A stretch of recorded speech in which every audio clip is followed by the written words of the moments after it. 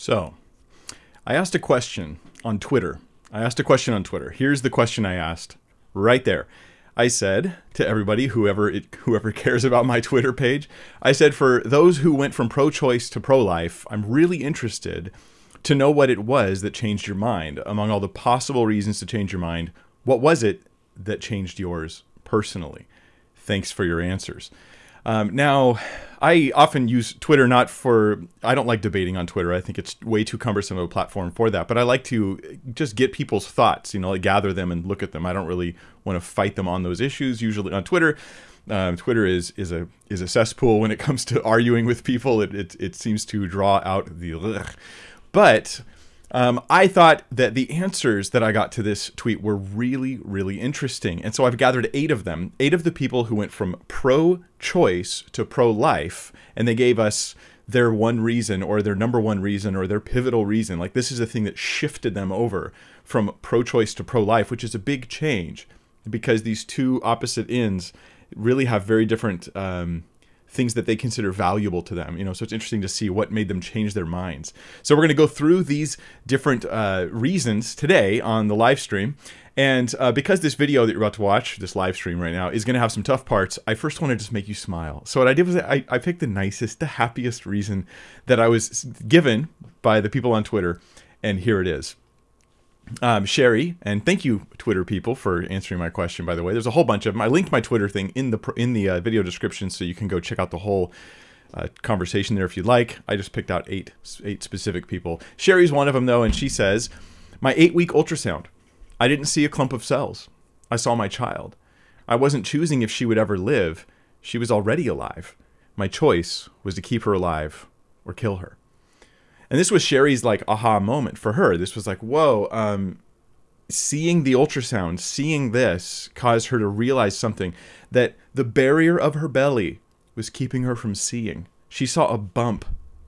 Well, the ultrasound let her see a life. And so what I've done is I've actually gathered some clips of some ultrasounds I'd like to share with you guys. And this is actually uplifting. I think everybody, unless you have some kind of agenda against ultrasounds, I think everybody would enjoy and be blessed by this little um, this little compilation. Oh, she was punched. You can arm right here, like to the side. Oh, That's what you do when you sleep. Your little nose. Oh my gosh, your nose, she has my nose. Is weird. That was crazy how she totally not. I feel her moving. You feel her going in there, Rob? Mm-hmm. Oh my gosh! Yeah, he has your big nose. That's, she's right there. So just let's, yeah. Where? That's her foot going up and down. That's her eye, her nose, her head. Oh. That's her nose. And that's her leg going up and down. Look how big the cheeks are. Look at all the pictures we got, you guys. Look how pretty she is. She's so cute. She's a she's Right there, right there, right there, right there, right there, right there. There we go. Hi. Oh, there it is. Open. That's my son. That's nice. that's really nice. I was like, I don't want it to end. I like watching these. Oh man, he's like, that's my son. You notice something about these ultrasounds is, is when these people, when they see, you know, through the belly, through the bump, and they see what what's making the bump, um, everything changes, right? And all of a sudden, they're not like it. Oh, it, look at the fetus. Look at the embryo. Wow, look at that. No, instead they're like, look at her. Look at him. Wow and it just the lights go on right? The lights go on. And for not for everybody. Plenty of people will see an ultrasound and then go have an abortion. But they shouldn't i think. I think what we're seeing here is something pretty powerful. So uh, i hope that that maybe that changed your mind. Maybe that's all you need this video for. Your, your mind has changed. And uh, good because that's what i want to happen. I don't, i'm not trying to manipulate you. I just want to show you what's going on here um, so welcome, welcome to the Tuesday live stream. I'm Pastor Mike Winger, and um, I'm all about helping people learn how to think biblically about everything and tackle different issues that touch on the Christian worldview or theology or apologetics. And this is definitely one of those major issues today. And uh, yeah, we do this every Tuesday at 5 p.m. Pacific Standard Time. And I'm glad you joined me. I'm glad you joined me. Um, it's all free. All my content's totally free. If you're interested in supporting the ministry, go for it. There's, there's a link below and all that. But just know this The goal here is not to get your support. The goal here is to minister to you and bless you. That's it. Full stop, right? Glorify God, minister to people. That's the goal. And uh, God's providing, and we're secure right now, like able to continue plowing forward. I'm not in any sort of financial danger. Anyway, I'm just rejoicing because a year ago, a year ago, I was thinking, I don't know if this is going to work. I don't know if this is going to work. I'm going to be trying to do this full time now. I don't know if this is going to work. Or will I be looking for a job, you know, in six months? And um, anyway, God's opened the door and I'm going to keep on walking through it. So here we are, reason number two. Reason number two, this is from Teaser Money. Teaser Money replied to me on Twitter and said, Knowing that the scientific community overwhelmingly agrees that human life begins at conception. That was the thing that changed his mind. He was like, Yeah, I can't be pro choice anymore.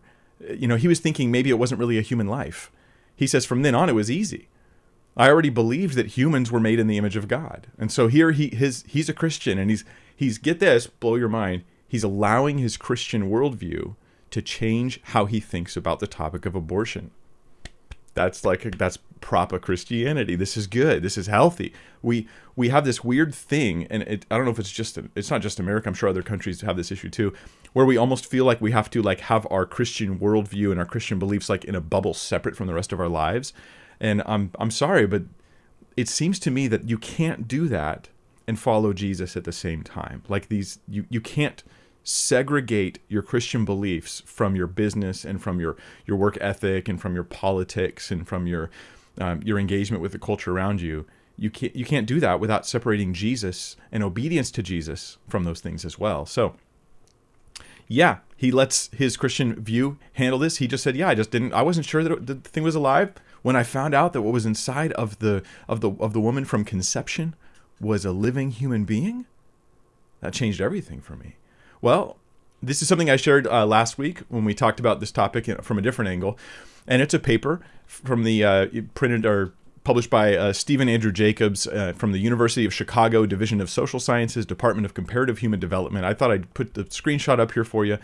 They surveyed over 5,000 biologists from over 1,000 different academic institutions and asked them when, oh biologist, oh smarty pants biology people, oh microscope addicts, tell us when life begins. And the overwhelming answer, over 95%, said that biological life, the biological view is that life began at fertilization. Let me show you the quote from the paper. I'll just grab the clip for you. Over 95% of all biologists affirmed the biological view that a human's life begins at fertilization. Human life begins at fertilization. Now, what happened with um, with teaser teaser money was or teaser monkey? I'm trying to remember which one it was there. Let's go back and look. Teaser money. All right, with teaser money, what what he did was he said, "Hey, I already have a philosophical view about life, informed by my Christian principles, that human life has incredible value. All I needed to know is that that's a human life. End of end of debate. Okay, biologists, you've helped me confirm it's a human life, and my Christian moral worldview tells me that it's wrong to kill it. Um, so yeah, duh. I mean, I don't need a consensus of biologists. I mean, if 95% of biologists said it wasn't human life, I'd be shocked and I'd be like, explain to me why, please. I mean, it's it's alive by any meaningful definition of the word alive. This thing, this little boy or girl, does it does it have DNA? Yeah, it's got its own DNA, different from the others.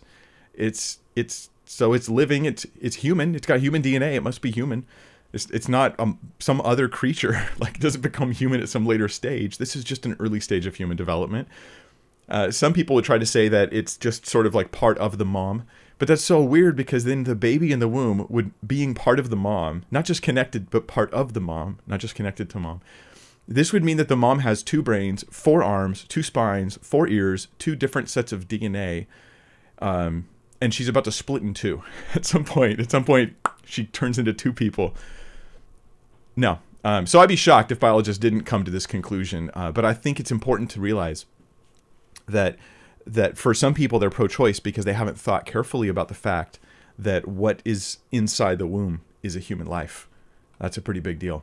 Pretty big deal. Let's go to reason number uh, reason number three. Here it is. And I'm going to go to your guys' questions at the end of this stream. So you can put those in the live chat right now. Just put a Q next to it and we'll gather in those questions and I'll answer as many of them as I can. I try to answer them, some that are on topic when possible, although I know there's always some that come in that are on other topics and I'll, I'll do my best to give you the best answer that I have off the top of my head. Uh, Josh says this. Josh says, My natural reaction was to be pro choice. But as I aged, I realized there isn't a good reason to be uh, from a Christian moral standpoint. If human life is sacred, then when that process starts, there isn't a moral reason to stop to stop it unless the mother's life is in danger. Now, in the last reason, the last person who changed their mind, te- teaser money, he said that it was because he already believed human life was sacred and he just needed to know if life had begun at conception.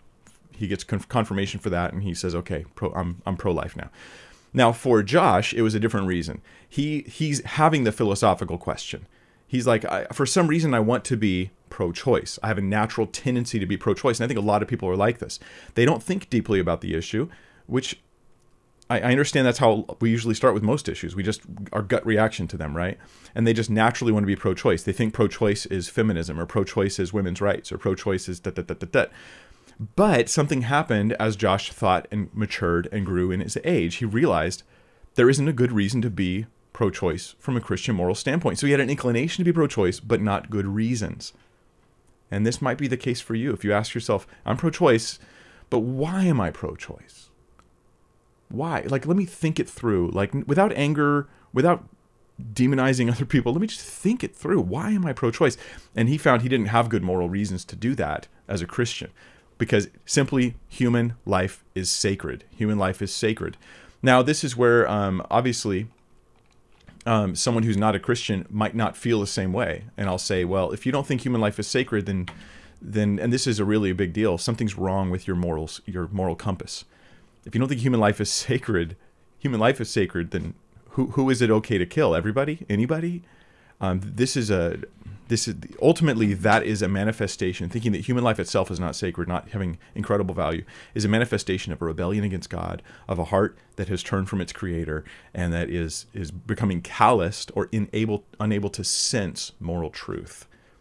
And there's a whole other issue going on there.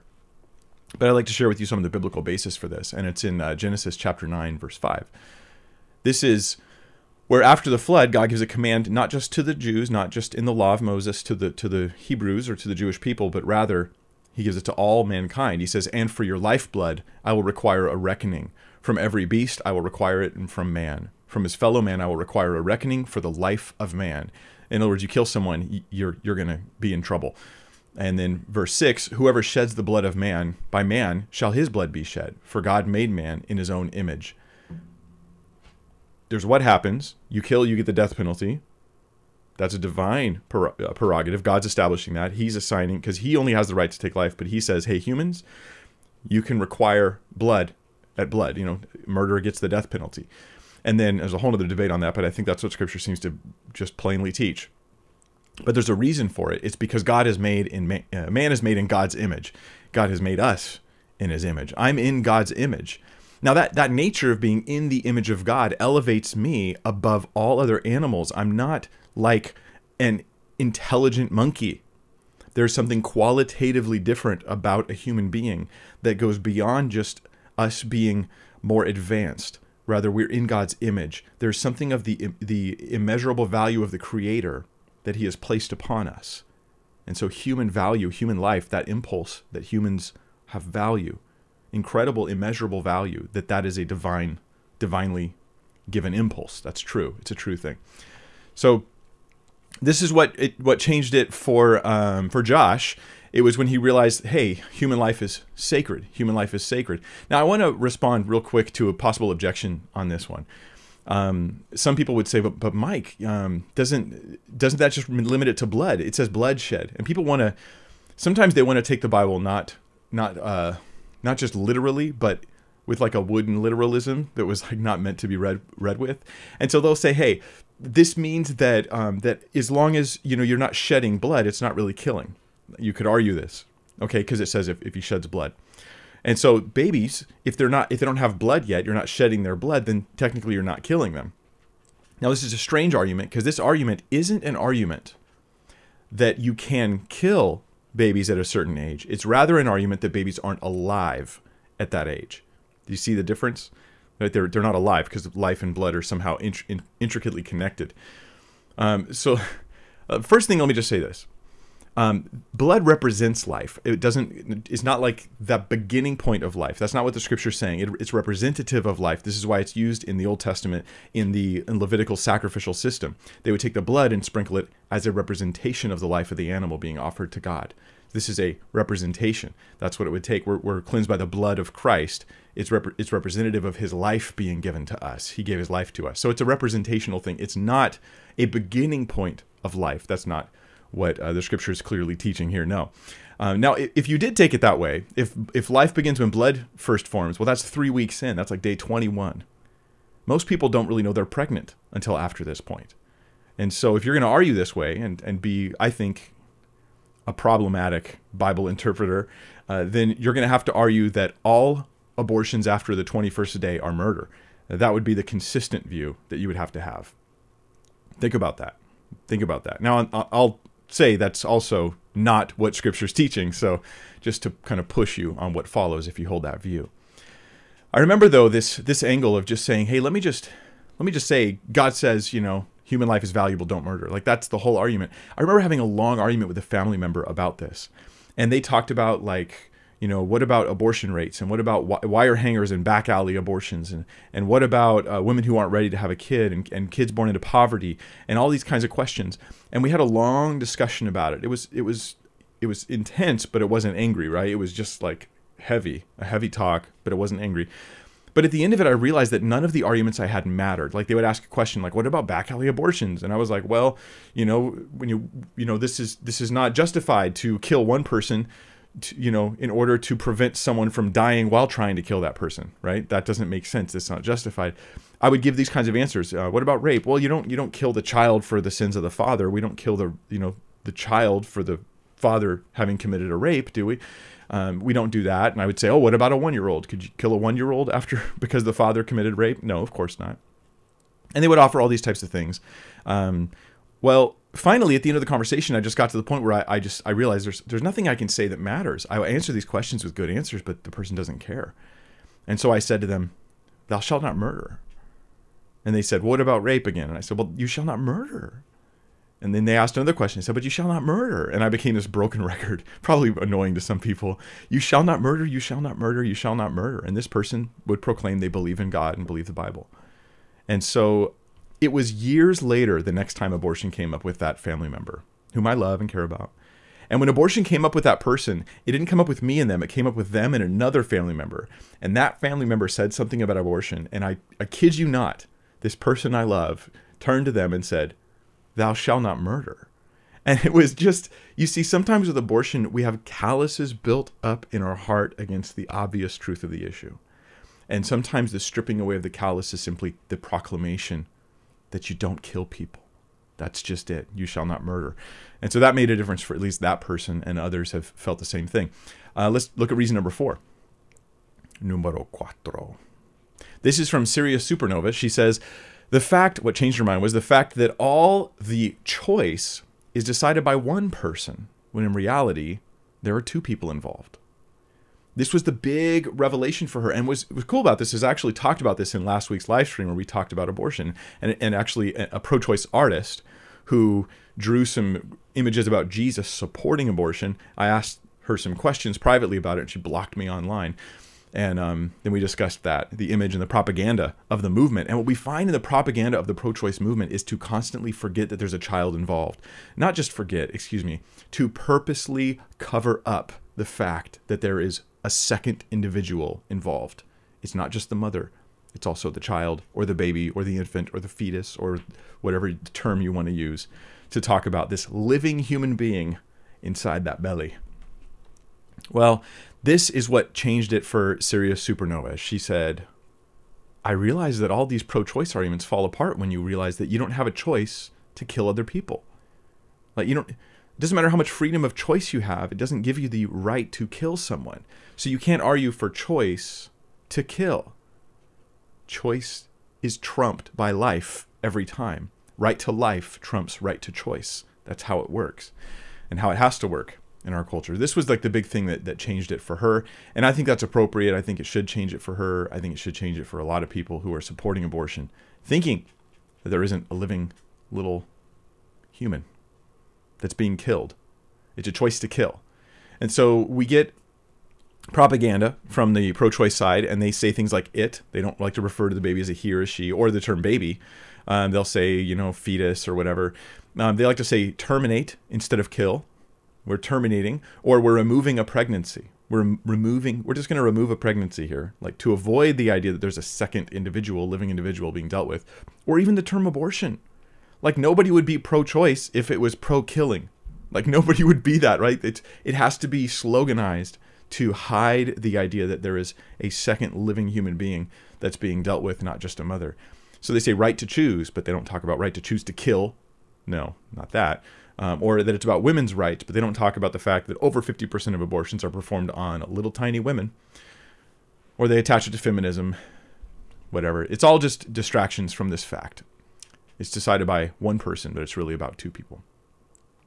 All right, let's look at number five. Number five comes from uh, Dominic Colana, who says, When I read a description of a partial birth abortion, this was the thing that blew his mind, that really changed his view on the issue.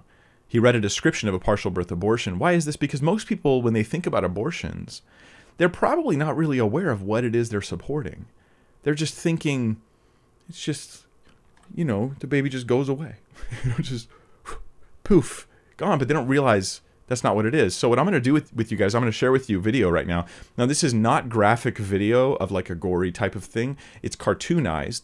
Okay, but what it is is a descriptive video from a medical doctor just explaining what a procedure of abortion is like, in this case in the third trimester. I have three of these videos. I think you'll find them interesting, very informative, well done, and tastefully done considering that they, it could be pretty gory stuff if they decided to put up those kinds of images.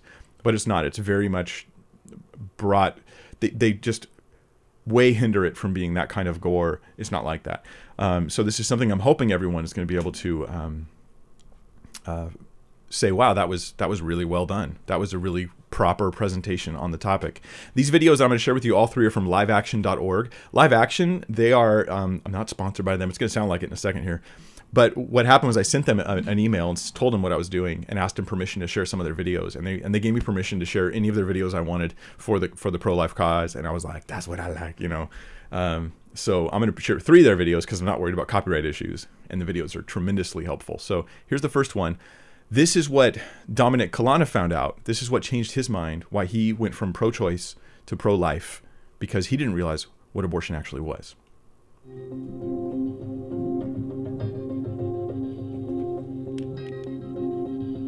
My name is Dr. Anthony Levatino. I'm a practicing obstetrician gynecologist, and I've performed over 1,200 abortions. Today I'm going to describe a third trimester induced abortion, which is performed at 25 weeks to term. At this point, the baby is almost fully developed and viable, meaning he or she could survive outside the womb if the mother were to go into labor prematurely. Because the baby is so large and developed, this procedure takes three or four days to complete. On day one, the abortionist uses a large needle to inject a drug called digoxin. Digoxin is generally used to treat heart problems, but a high enough dosage of digoxin will cause fatal cardiac arrest. The abortionist inserts the needle with the digoxin through the woman's abdomen or through her vagina and into the baby, targeting either the head, torso, or heart. The baby will feel it. Babies at this stage feel pain. When the needle pierces the baby's body and the digoxin takes effect, the life of the baby will end. The abortionist then inserts multiple sticks of seaweed called laminaria into the woman's cervix. They will slowly open up the cervix for delivery of a stillborn baby. While the woman waits for the laminaria to dilate her cervix, she carries her dead baby inside of her for two to three days. On day two, the abortionist replaces the laminaria and may perform a second ultrasound to ensure the baby is dead. If the child is still alive, he administers another lethal dose of digoxin. The woman then goes back to where she is staying while her cervix continues to dilate. If she goes into labor and is unable to make it to the clinic in time, she will give birth at home or in a hotel. In this case, she may be advised to deliver her baby into a bathroom toilet. The abortionist then comes to remove the baby and clean up. If she can make it to the clinic, she will do so during her severest contractions and deliver her dead son or daughter. If the baby does not come out whole, Then the procedure becomes a D&E, a dilation and evacuation, and the abortionist uses clamps and forceps to dismember the baby piece by piece. Once the placenta and all the body parts have been removed, the abortion is complete. Late term abortions have a high risk of hemorrhage, lacerations, and uterine perforations, as well as a risk of maternal death. Future pregnancies are also at a greater risk for loss or premature delivery due to abortion related trauma and injury to the cervix. Okay, I already know. I already know. A lot of people are like, whoa, I did not know that. But some others are watching right now, and I try to sometimes be aware of objectors as I'm teaching, as I'm sharing. I want to be thinking about what objectors might say. And they're thinking, Mike, third term, that's a third term abortion, Mike. You're, you're trying to make it look like all abortions are third term, and that's not at all my case. Rather, what I'm showing you is this. This is Dominic Colana who says, When I read a description of a partial birth abortion, I gave you a much tamer version of abortion than what freaked him out. What freaked him out is a b- abortion where the baby is partially delivered and then stabbed in the head. It's halfway out of the mom. And because if it comes out all the way, they may legally have to protect this baby. They have to make sure to kill it before it makes its full trip out of the mom. That's what freaked him out. I didn't even show you that. But you should know the more common abortions are also not acceptable. This is a second trimester abortion. It's younger and earlier than the last one that I just showed you. Today I'm going to describe a second trimester surgical abortion called dilatation and evacuation, or D&E. A D&E is performed between 13 and 24 weeks of pregnancy. After administering anesthesia, the abortionist uses a weighted speculum, like this one, that opens the vagina widely. Because second trimester babies are so large, this greater access facilitates a late term abortion. Late term abortion requires that the cervix be prepared 24 to 48 hours in advance with laminaria. Laminaria is a type of sterilized seaweed that absorbs water over 8 to 12 hours and swells to several times its original diameter. Once removed, metal dilators can be used to further open the cervix as needed. Once the cervix has been stretched open, the suction tube is placed inside. A baby at 20 weeks gestation is as big as the length of my hand, from head to rump, not counting the legs. The suction machine is turned on, and pale yellow amniotic fluid surrounding the baby is suctioned out through the catheters. But babies this big, they don't fit through catheters this size. The baby's bones and skull are too strong to be torn apart by suction alone. This is a Sopher clamp. A Sopher clamp is made of stainless steel. It's about 13 inches long. The business end is about two and a half inches long and a half inch wide, and there are rows of sharp teeth. This is a grasping instrument. When it gets a hold of something, it does not let go. The abortionist uses this clamp to grasp an arm or leg. Once he has a firm grip, the abortionist pulls hard in order to tear the limb from the baby's body. One by one, the rest of the limbs are removed, along with the intestines, the spine, and the heart and lungs. Usually, the most difficult part of the procedure is extracting the baby's head, which is about the size of a large plum at 20 weeks. The head is grasped and crushed. The abortionist knows he has crushed the skull when a white substance comes out of the cervix. This was the baby's brains. The abortionist then removes skull pieces. He removes the placenta and any leftover parts of the baby with a curette, scraping the lining of the uterus for any remaining tissue. The abortionist then collects the baby parts and reassembles them to make sure that there are two arms, two legs, and all the pieces. Once all the parts have been accounted for, the abortion is complete. For the woman, this procedure carries a significant risk of major complications, including perforation or laceration of the uterus or cervix, with possible damage to the bowel, bladder, and other maternal organs. Infection and hemorrhage can also occur, which can even lead to death. Future pregnancies are also at greater risk for loss or premature delivery due to abortion related trauma and injury to the cervix. Wow. Did you know that? Were you aware of that? You know, even when women are in the office talking about an abortion procedure they're about to happen, it's not abnormal for the people telling them what's going to happen to hide the details. To try to use as as muddy of terminology as possible to try to keep them from understanding what's actually happening. Now they understandably are worried about the heart of that woman. I don't want you to feel bad. Like I don't this is going to be hard. I don't want you to feel guilty. But but there's a proper place for feeling bad and guilt. And it's to keep us from doing things like this. And it's for us, after we've done those things, to, to turn to God for forgiveness and be restored and forgiven, but to turn to Him, to turn away from those things to Him. That's the proper place of guilt. I think our country suffers from a, um, our world, from a lot of mismanaged guilt. Uh, I should do a video on that someday. I think mismanaged guilt is a real problem. Um, but yet you're saying, but Mike, what about the first trimester? What is that? And I think that that's a good question. And that's this this description of the of the first trimester, and this um, this helps you understand that because we we don't see the baby, there's a belly in the way. We think nothing's going on with an abortion, or maybe even she just took a pill, just a pill, right? It was just a pill. There was no tools, so nothing's really going on, right? Well, that may not be the case. Today I'm going to describe a first trimester medical abortion. This is a procedure in which the mother swallows pills in order to terminate her baby, and it is performed up to the 10th week of pregnancy. The procedure involves two steps. Step one. At the abortion clinic or doctor's office, the woman takes pills which contain mifepristone, also called RU486. RU486 blocks the action of a hormone called progesterone. Progesterone is naturally produced in the mother's body to stabilize the lining of the uterus. When RU486 blocks progesterone, the lining of the mother's uterus breaks down, cutting off blood and nourishment to the baby, who then dies inside the mother's womb. It is important to note that even after it has been taken, it is possible to reverse the effects of RU486 and save the baby if progesterone is administered. The sooner, the better. Step 2. 24 to 48 hours after taking RU486, the woman takes misoprostol, also called Cytotec, that is administered either orally or vaginally. RU486 and misoprostol together cause severe cramping, contractions, and often heavy bleeding to force the dead baby out of the woman's uterus. The process can be very intense and painful, and the bleeding and contractions can last from a few hours to several days.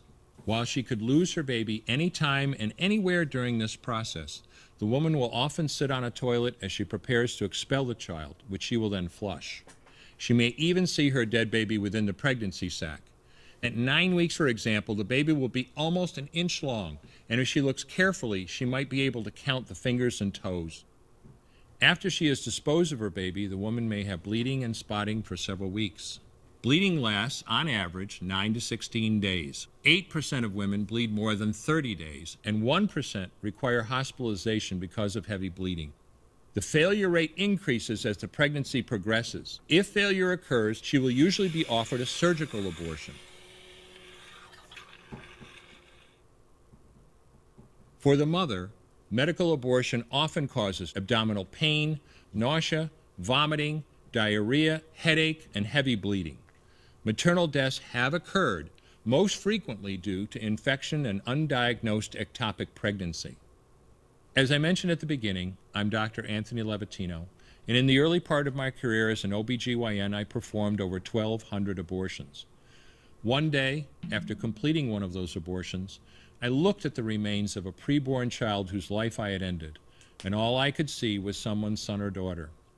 I came to realize that killing a baby at any stage of pregnancy for any reason is wrong.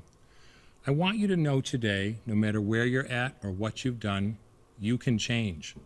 Make a decision today to protect the preborn. Thank you for your time. I will no longer do any more abortions. When you finally figure out, You guys that may want to check out this um, this website or uh, uh, it doesn't take liveaction.org. too long to figure out. It doesn't I think they're matter if the baby is this big or this Yeah. Um, now, what I want to uh, what I want to do is uh, moving on to the next one. But those those videos are available. You could share them. You could take one of them. You could you could bring it to other people and have them check it out. And there's so much anger on the topic of abortion. Um, I try to div- divest myself of that stuff as much as possible. Um, but yeah, it, it's it's as bad as it looks. It's as it's as rough as it sounds, and the issue is something we need to wake our country up to. And waking the country up is going to be a, about, about talking about unpleasant things to a lot of people who just would rather not hear it and just go about their day. Uh, but let's look at the next one, number six. Um, this is the seeker who replied to my tweet and said, "When you realize there's actually a market for dead fetuses, this was the thing he realized. This was the thing that caused his eyes to open up and say, "Wait a minute, they're they're selling these babies' body parts. They're they're making money, millions and millions of dollars off of abortions. I mean, hundreds and hundreds and thousands of abortions every year, and they're making massive amounts of money." off of these things. And uh, in case you didn't know this, you're like, but wait a minute. Let me take Planned Parenthood for example. Some say Planned Parenthood's only got three percent of their um, of their product is from abortions. I mean, you know, the rest of the stuff that they do, their services aren't aren't related to abortion. They're not making their money. It's a like it's a small thing. It's a small thing. It's I mean, by conservative estimates, over 800,000 abortions in the U.S. last year alone. By conservative estimates. Let, let's look at this video though and examine the claim. Since I have the ability now to take all of live action's content and just completely steal it and throw it up on my stuff. Um, I'm going to play one more. Here it is. America's largest abortion chain, Planned Parenthood, claims over and over and over again that abortion is only 3% of the services that they offer. That's your self reported abortion statistic. 3% of all the procedures we provide. It's in their annual report, it's on their website, and their supporters say it all the time. And abortions only comprise 3% of Planned Parenthood's health services. Abortion services only account for about 3%. Because only 3% of what Planned Parenthood does is abortions. 3% of patients visit Planned Parenthood for a safe and legal abortion. Here's why that statistic is completely bogus, and why the senior editor of the online magazine Slate said that the 3% stat was the quote, most meaningless abortion statistic ever, and why the Washington Post fact checker gave Planned Parenthood's 3% statistic three Pinocchios, marking it as quote, very misleading. Let's look at the numbers. According to their own annual report, Planned Parenthood commits over 300,000 abortions per year. Last year alone, they did 323,999 abortions, which averages to 887 abortions per day, 37 abortions per hour, one abortion every 97 seconds. Again, Planned Parenthood commits one abortion every 97 seconds. But how much of what Planned Parenthood does is abortion? Well, let's divide the number of abortions they do in a year by the number of patients they see in a year. 323,999 abortions for 2.5 million patients means that 1 in 8 patients who walk into Planned Parenthood will undergo an abortion. Not 1 in 33, Elizabeth Warren, 1 in 8. It's easy to see where Planned Parenthood's priorities are. They commit 160 abortions for every one adoption referral. Though Planned Parenthood constantly talks about their breast exams and pap tests, they only do less than 1% of the nation's pap tests and 1.8% of the nation's breast exams, while they do 30.6%, a third of the nation's abortions. But that's a public relations problem. So Planned Parenthood came up with a creative way to make their big business, abortion, look very small. To get the 3% figure, Planned Parenthood divides abortions by the number of so called services, which they define as a discrete clinical interaction. And they count all these services equally, regardless of the cost, time, or effort it takes to render that service. So, an entire abortion procedure, which can cost from $390 to $1,500, is counted the same as a pregnancy test, which a girl could get at a pharmacy for $10. In this way, Planned Parenthood is able to count 9.4 million services. Divide 323,999 abortions by 9.4 million services, and they get 3%. It's easy to see why this math is completely ridiculous. Say a woman goes to Planned Parenthood to get an abortion. She gets her pregnancy test, the abortion procedure, an STI test, and some contraceptives. In one visit, she gets four services, one of which is the actual abortion. So Planned Parenthood would say that abortion was only 25% of what they did for that woman, who came into the clinic only for an abortion. Well, by this math, even if 100% of Planned Parenthood patients got an abortion, they would still say abortion is only 25% of their services. Such distorted calculations could be used to obscure the purpose of any business. It would be like the NFL saying that because they sold 5 million hot dogs in a season and there were only 256 games, football is only 0.005% of what they do. Or it'd be like a steakhouse saying, actually, steak is only a very small percentage of what we serve because we also serve salad, mashed potatoes, french fries, beer, wine, soda, water, butter, salt, pepper, ketchup, toothpicks, and breath mints. We'd say, yeah, right, you're a steakhouse. just like Planned Parenthood is an abortion corporation. Yeah.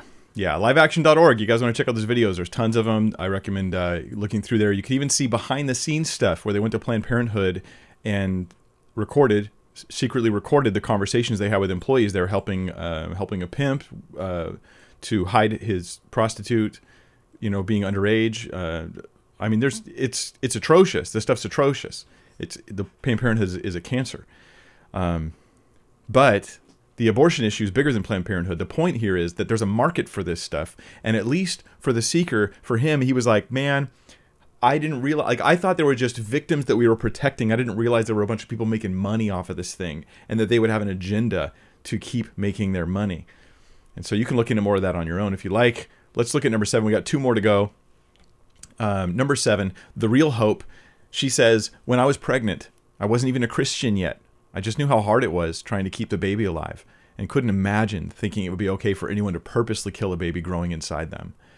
It was just, it was intuitive to her. It was the act of becoming pregnant caused her maternal instincts to kick in, and she went, I would do whatever I had to do to keep this baby alive. She obviously had some kind of complications in her pregnancy, and she was doing everything she could, everything she could, and that seems to be the right thing to do. I remember one time I was at an abortion clinic and I was one of those hateful, horrible, mean guys who's angry and and and inconsiderate, and I was standing there with signs and uh, and and trying to talk to people who were walking in and, and just being a real all around pain in the butt. And um, as I was there, across the street from us, there was a car accident, and lo and behold, the, in where the car accident was, where that happened, there was a pregnant woman in the car and so we kind of went over, there real quick. I mean, I had had like CPR training, and I just thought there's a chance. Plus, I was a I was a police chaplain at the time, and so I thought maybe there's something I can do to help here. So I went over, and the woman comes out of the car, and I realize she's pregnant, and we're all worried. You know, did the seatbelt smash on her belly? Or did anything weird happen? Is she okay? Is she is she all right? We're just concerned about her. She was obviously very pregnant. And she seemed to be fine, and we were relieved. We were relieved. And the irony of the moment struck me. Here on one side of the street, was a woman, everyone's worried about the, the, the, baby. The most important thing to us in that accident was the baby, right? More than anybody else, we were worried about that baby. Not the cars, not the people, the baby. Across the street, people were killing their babies. The irony of the moment, the dark, sad irony of the moment. Um, wow. Wow. You know, in our culture, we we realize this, we see this, our hypocrisy comes out when we say that if a man kills a pregnant woman and then the baby dies and the woman dies, we, we say he should be charged with double homicide. He killed two people. It was a, it was two murders that went on there. This is like a natural gut reaction. Yeah, of course, this is obviously true, but but then you can go and you can kill that baby, um, and it's okay. It's okay. So th- this this whole idea, the real hope is just pointing out the obvious the obvious hypocrisy when we see our value for life transferred onto a baby, it, it gets higher, not lower, and how others want to actually terminate that life. Last reason, excuse me, the last reasons from Logos Apologetics, who said, I realize basically all the pro choice arguments apply to a baby when it's one year old as well as inside the womb. Now, this, slow down and take this in because this is about this is this isn't just about like gut level moral reasoning which is healthy we should have gut level moral reasoning but this is this is about like thoughtful argumentation. Like hmm i actually tried to weigh the arguments for killing a baby. And as i weighed them out i realized that the arguments for killing an, a baby in the womb would all apply to a one year old wait a minute but i know it's wrong to kill a one year old you you can't justify killing one person if that same justification would let you kill someone else and we all agree that that's wrong.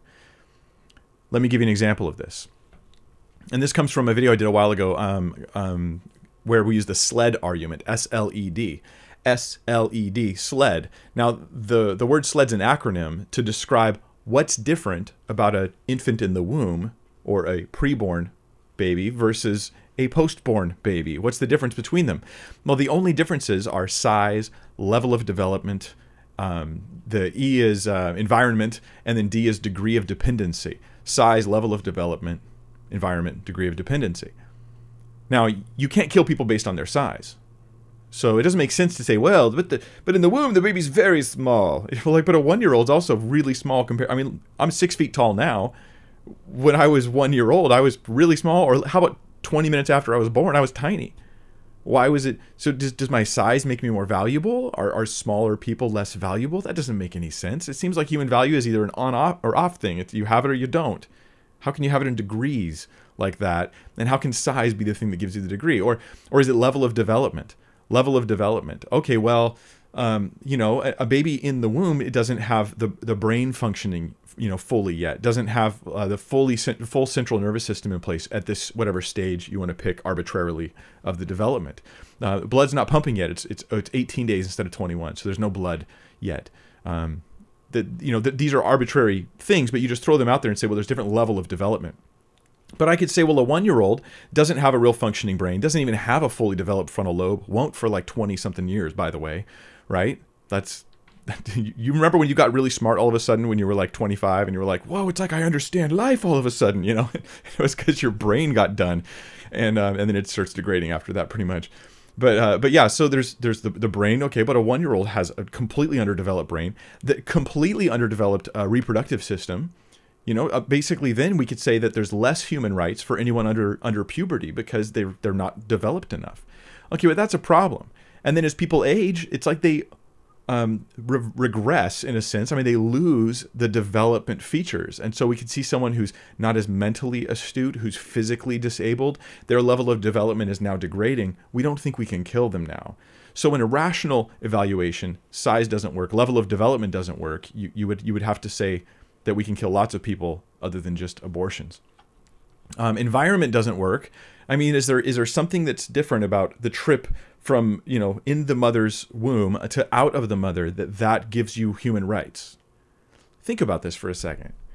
You're telling me that if i'm i'm i'm you know 8 months from conception and i'm in the womb i have no rights. But but in the in the room next to me there's a woman who just gave birth.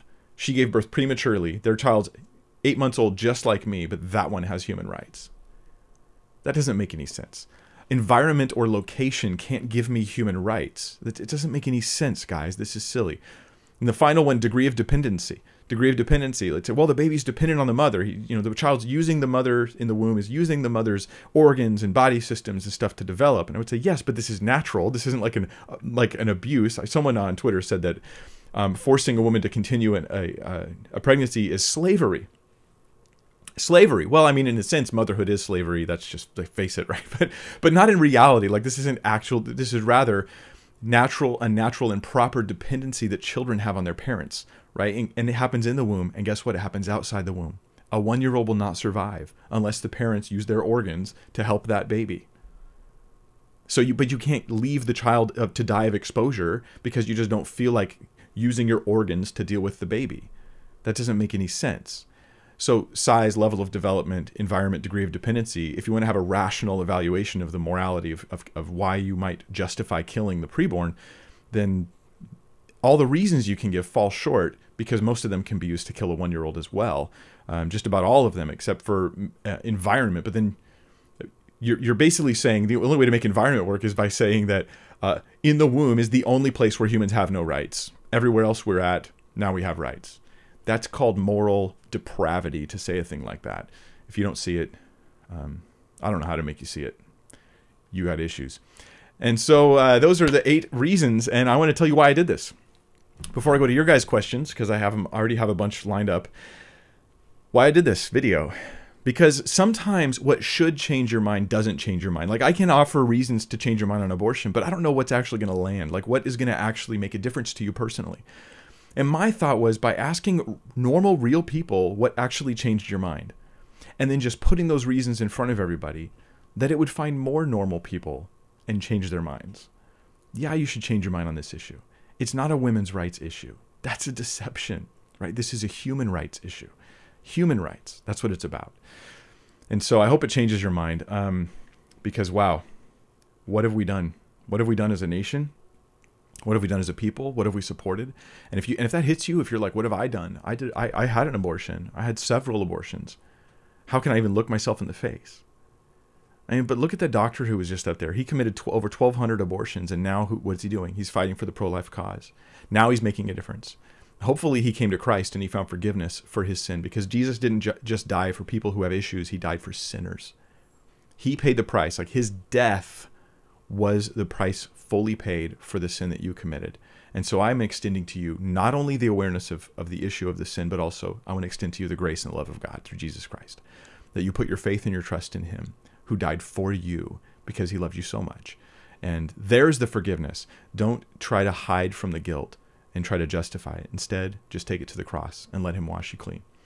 Um, all right, Anna Boshir has a question. Anna says, uh, "Hi, Pastor Mike. Hi, Anna. Wondering what your take is on vaccines. Um, I'll, I'll, preface this by saying I don't know that much about vaccines, Anna, I, so I don't want to comment as though I do. But I'll read your question here.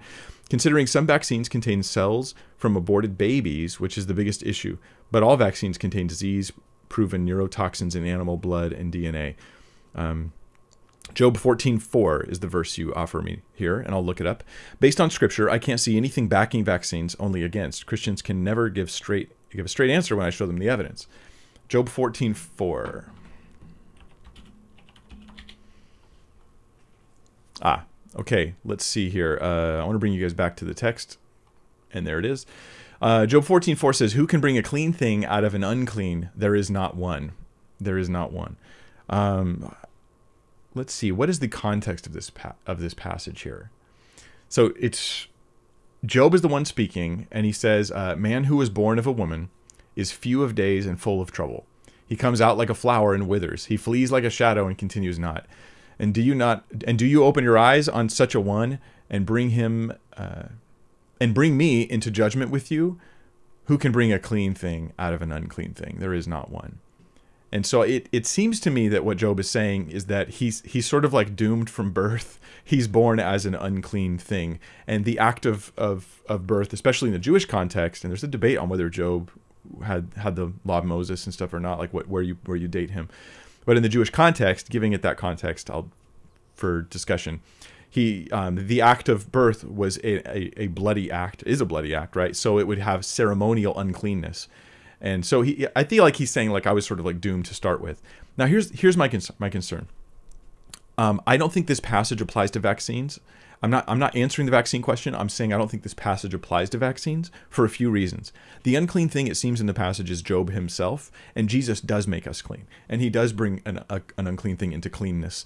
And Job is, is complaining and griping a lot here. And later in the book, he's like, "What a what a fool I was." So I don't want to form too much doctrine off of what Job says without carefully evaluating what he says.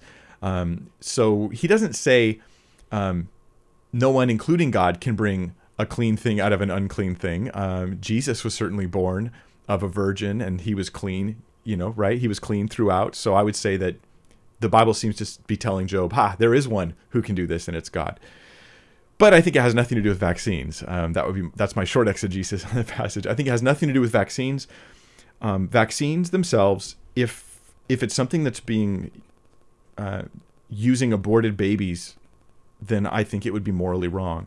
If it's not, if it's the other question on vaccines about are they healthy, are they hurtful, is it some kind of conspiracy going on? Um, I'm not convinced that they are, but I'm not weighing in on this because I have not done my homework on it.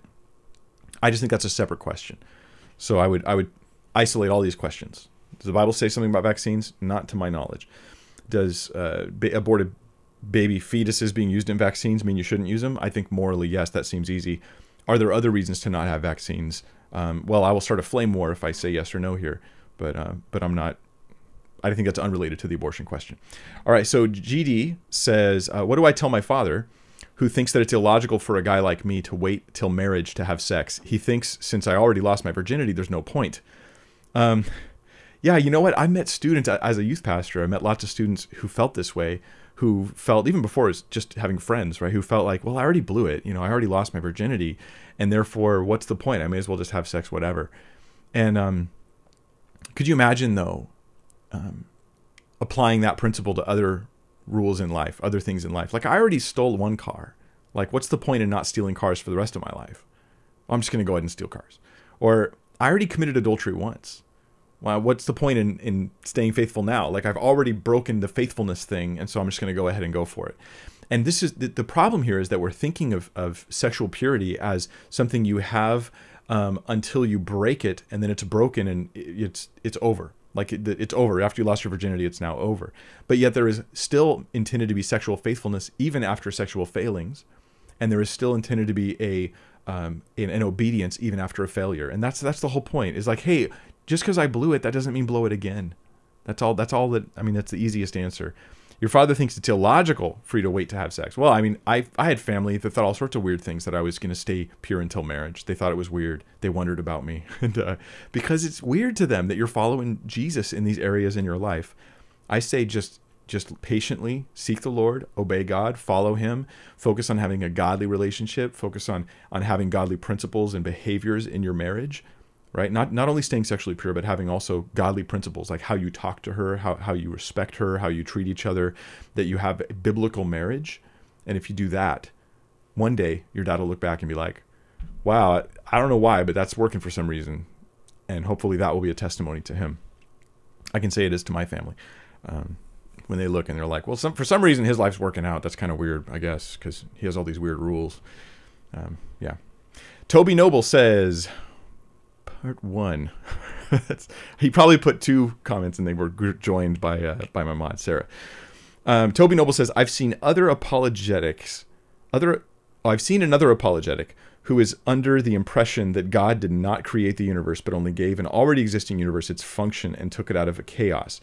Also, that God did not create Adam and Eve, but gave them purpose, told them to marry and be functional as a couple, and more odd ideas, theistic evolution. I've seen this apologetic labeled as a Christian apologetic, but don't most theistic evolution ideas completely contradict most of Genesis alone? Not to mention more. Thanks. Okay, let me. I'm just in my head as I read these questions. Sometimes I try to like pull them into categories because often the ca- questions are complicated. There's like layers of issues. So well, let me talk about um, uh, first off I think you're talking about inspiring philosophy. Uh, because I was, I was, looking at some of his content recently on Genesis and and um, seeing some of the stuff he's he's done on it. And I'm not I'm not okay. I, I admit I'm not on board with his interpretation exactly. Um, but here's the thing: uh, Michael Jones, inspiring philosophy. He's a brother in Christ. He's my brother in, in Christ, and he's trying to defend the Scripture the best way he knows how. When it comes to Genesis, I have more questions than answers. When it comes to the opening chapters of Genesis, um, when it comes to specifically how they're properly ought to be interpreted, because I found that some of the young Earth creationist views that I was raised with, they they weren't answering some of the other thoughtful looks at Genesis. And so it kind of put me a little bit on the fence right now. I'm like, I'm not really sure what my view is. And I don't mean here that, um, oh, Mike's Mike's uh, gonna change his view on Genesis because he's being pressured by modern science or something like that. I'm actually I think of these as two separate questions. We have the text question and we have the science question. What does the text say?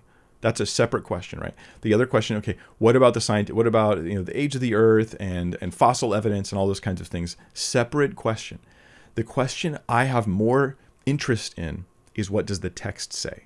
And long story short, I think there's more of a case that can be made for views other than young Earth creationism than what I thought in the past. But I don't know what my view is on this, and I don't like stepping into areas where I'm unconvinced and I'm not sure what to think.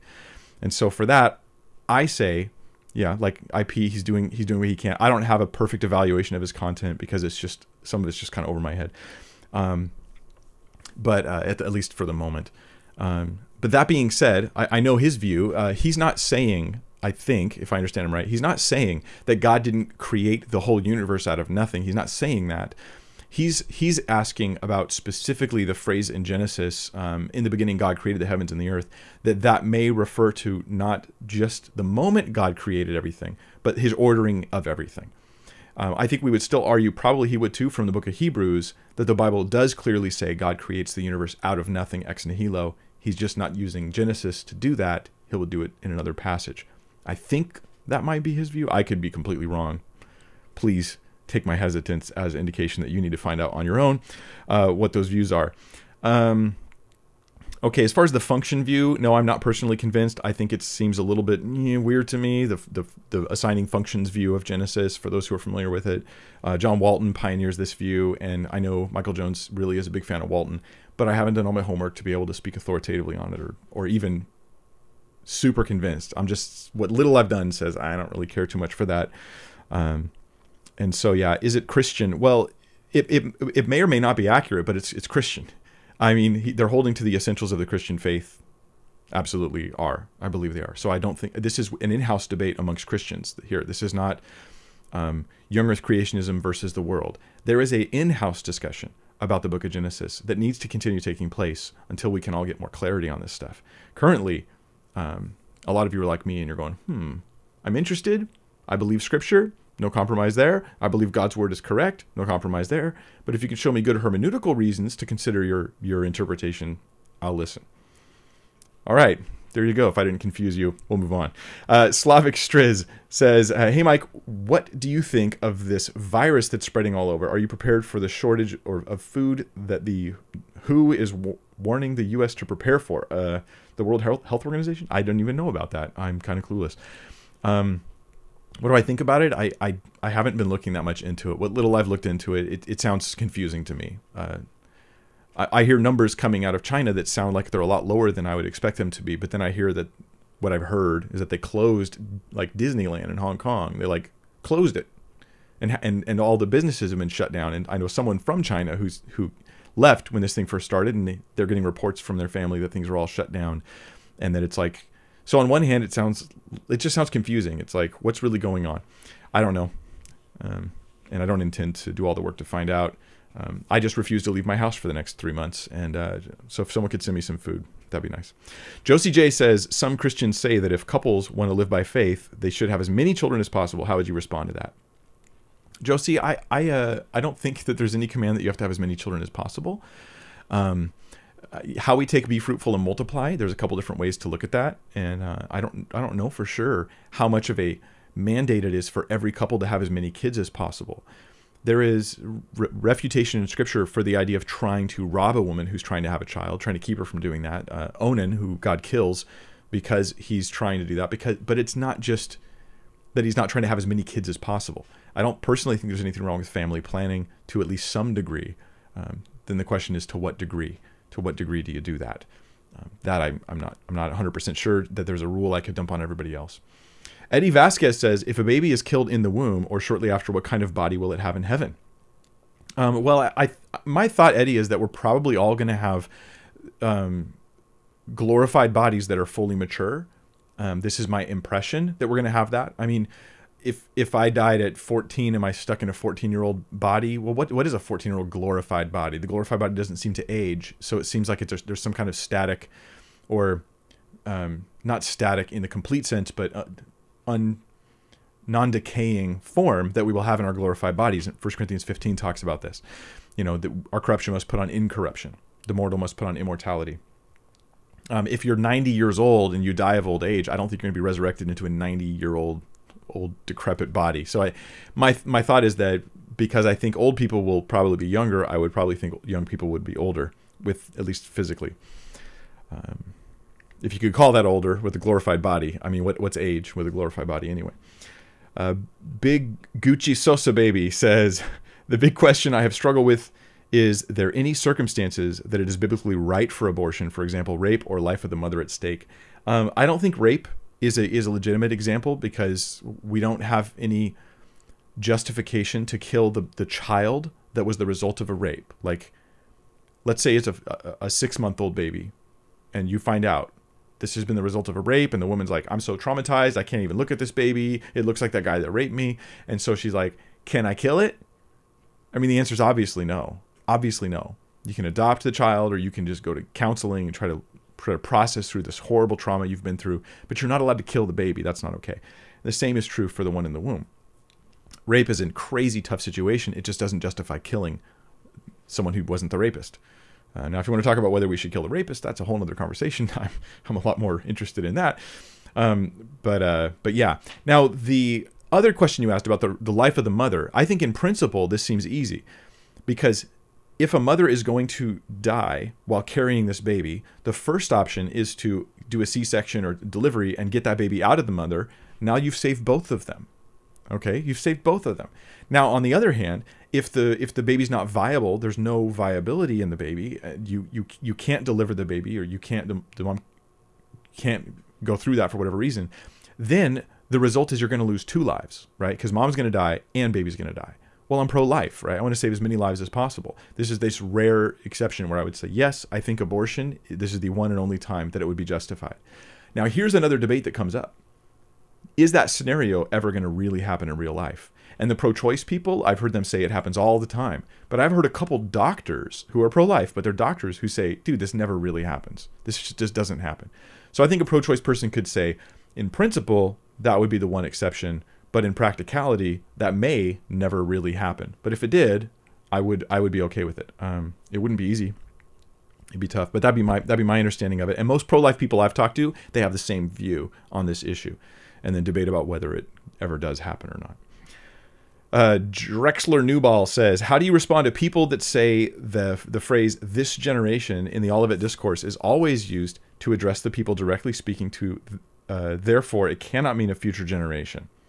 Um, I I think if they say that, I want to see them prove it. Like, whenever someone says, "This generation," has to always mean this, you know, that's a pretty big burden. They they have they I show them any example of the phrase this generation, and they have to show me it always means that. And not just in the text of scripture. I would want to see outside scripture too. So um, yeah, I wouldn't I wouldn't want to see them prove it first. I don't think that's the case though. And I have a video on uh, was Jesus a failed apocalyptic prophet or something like that? Was Jesus a failed prophet? Where I go through the Olivet discourse and talk about this very issue. You might want to check that out. Maybe one of the mods could drop that in the live chat if you have a chance. Uh, I'm just saying says how many pro-choice persons are animal rights activists that would protest if veterinarians made abortion a normal practice for dogs, cats, horses, rabbits, mice, monkeys, etc. I wonder. That'd be a really interesting poll. Is to just go out and do a poll. Hey, are you pro-choice? Um, where do you where do you draw the line? If they draw the line anywhere, and then ask them, um, do you think it's okay to abort a dog's babies, you know, or a monkey's babies or a rabbit's babies? Do you think that that's, that's okay? Or, you know, you know, are you vegan? Are you vegan? It's like it's I, I won't eat meat, I won't eat any animal product, but abortion's okay. Because these these are inconsistent views. That'd be interesting to look at. Uh, Michael Berube says, "Can you do a video on pneumatology soon? It's something I feel is heavily misunderstood, misrepresented in a lot of churches today. Thanks for your videos; they're a huge blessing. I'll, I'll consider it, Michael. I'm really loaded up right now at the moment, though, with a bunch of plans. Um, so pneumatology is, is the theology about the Holy Spirit, right? Pneuma, spirit. So it's about the Holy Spirit, or it could be about, I guess you could be our spirits. You could talk about as well. Um, let's see. Robert John Bagsick says any option using contraceptives. I, I think the question about contraceptives contraceptives is are they abortifacient, meaning do they cause an abortion or do they prevent conception? Preventing conception, I don't personally see this moral it's a different let me first say this it's a different moral question than abortion preventing conception is not the same as abortion right a couple when they know that they are um, when they know that the woman's fertile and they're not they don't sleep together that night they're preventing conception aren't they i mean so that's not the same as having an abortion um, but the question is is it having an abortion and i think that we would anybody who's going to use any kind of abortion or excuse me birth control related material or contraceptives they need to do their research and make sure that they know what's happening chemically because even doctors will sometimes muddy the waters and not tell you what's really up. Cowboy Zeke says, Where can I get those videos? Cowboy Zeke, you can get them on liveaction.org. That's where I got all the videos I share with you guys today. Liveaction.org, great site. And I pinned a link to it in the video description, or excuse me, in the first comment on this video on YouTube. Uh, followers of G- follower of Jesus says, "Hi Mike, what's your view on Luke fourteen thirty three and Luke twelve thirty three? Hmm.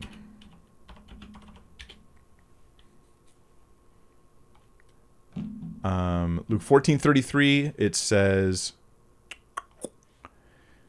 So therefore, any of you who does not renounce all that he has cannot be my disciple. And then um, Luke 12 33.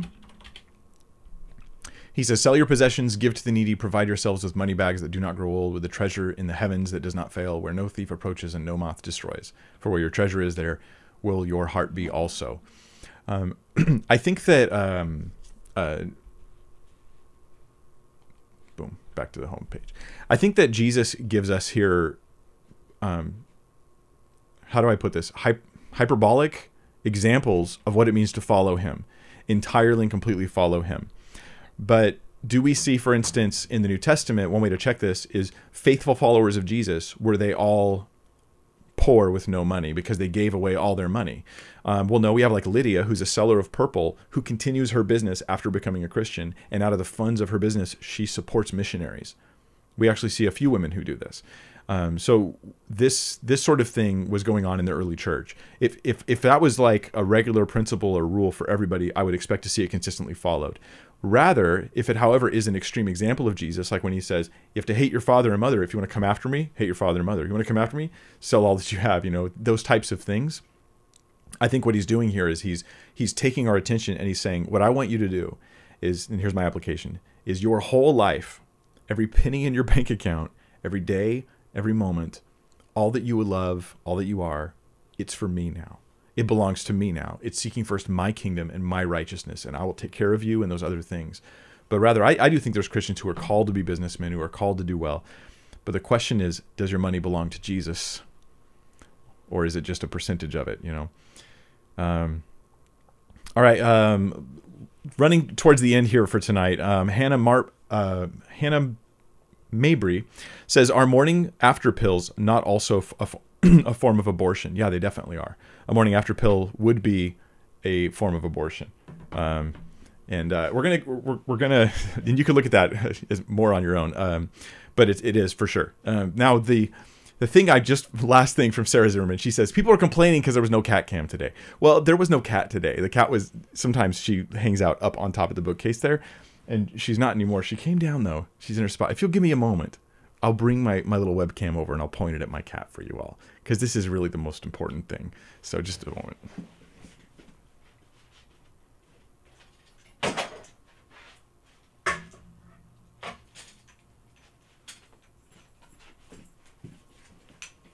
Here it comes.